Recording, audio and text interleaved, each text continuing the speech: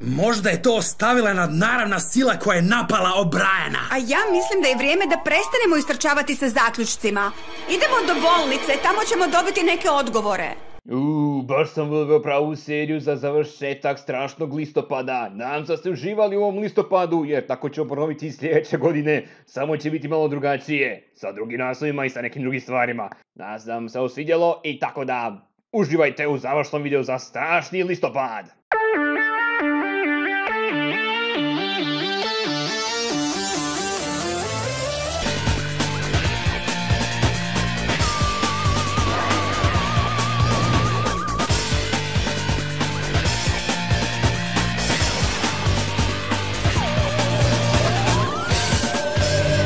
Martin Misterija jeste crtana serija koja je napravljena prema istoimenom stripu Martin Misterija koji je, ne biste vjerovali, italijanski strip koji je bio popularan u bivšoj Jugi zajedno sa Zagorom, Texom, Dylan Dogom i Alan Fordom. Neki od ovih stripova nikada nisu vidjeli svjetlo Amerike i tako da nikad nismo dobili adaptirana izdanja ovih e, dobrih junaka. Osim par nekih pokušaja, no svi dobro znate kako je to završilo. No ipak, Martin Misterija je dobio neku adaptaciju, no nije baš potpuno vjerna je izboru, no ipak ima neki stvari što je povezano iz tog stripa. A još plus je napravio iz tog studija koji je napravio Totally Spies i imali su jedan crossover u Totally Spies epizodi. E, Potraj se na internetu, neću da vam spojlujem sve nego o čemu se radi u Martin Misteri. Dakle, koncept poprilično jednostavan. Imamo tri lika koji uglavnom rješavaju različite misterije o paranormalnim stvarima.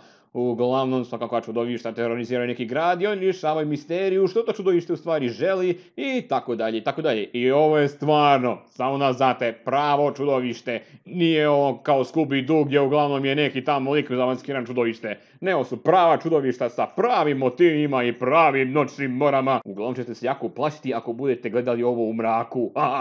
Nego koji su to naše tri lika koji uglavnom rješavaju ove misterije? Pa to su Martin Misterija, Diana Lombard i Jama Pračovjek. Ukratko nešto o svakom liku. Martin! Kakva bedastoća? Pljesan plus knjiga s šarolijama plus diši nestanak? Meni smrdi na vještice. Veliki kreten koji konkretno voli rješavati paranormalno i usput zna skoro sve o paranormalnome, jer ima svoj tjednik koji se bavi paranormalnim, zove se paranormalni tjednik. LOL. Uglavnom veliki ljubitelj žena i vrlo hrabar u jako nezgodnim situacijama. Također ima i svoj sad koji mu daje različite gadgete i ovo su neki gadgeti koje zna koristiti. Sluzosken, e, kuka za hvatanje, rezač i legendex. Neke druge alate baš ne koristi, ali ovi su najčešće što koristi u svom arsenalu.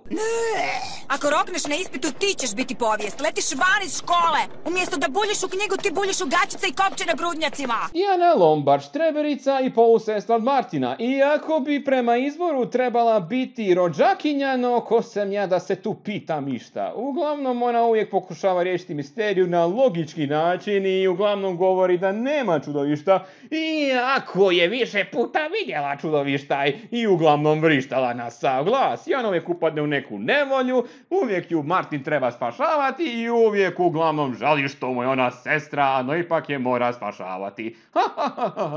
I na posjetku Java, Tamo hladno, mrak, jeza. Aha, odvratno. Ajmo sad u istragu.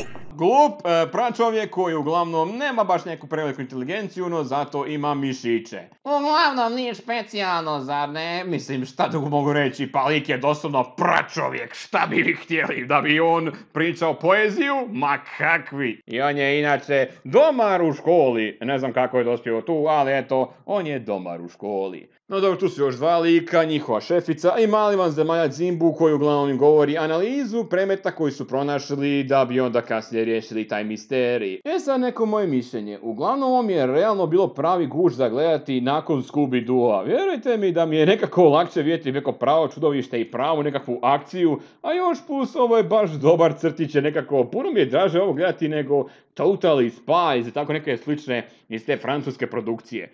A znate li još plus jednu stvar, ovo je bilo sinkronizirano strane Anić Synchro Studija, koji je to probitno sinkronizirao 2004. do 2006. Pa onda su kasnije stali, pa onda su opet se vratili nakon 10 godina i evo sad imamo cijelu prvu sezonu za pogledati. Hvala, hvala vam Anić Sinka što ste to uopće ni to preveli. No eto, kao što sam rekao, meni se ovo sviđa i pravi užitak. Iako ponekad neke misterije nisu baš nešto specijalne, no draže mi je naučiti nešto iz Legendeksa, jer Legendex vam uvijek daje neke zanimljive informacije o tom nekom čudovištu i nekom tamo mističnom stvorenju koje se pojavilo u ovoj epizodi. Sve u svemu, serija dobiva jedno plus četvorku, iako ima nekih malo mana, sve u svemu serija je stvarno super i jako zabavna. Još plus, stvarno će vas uplašiti u nekim stvarima.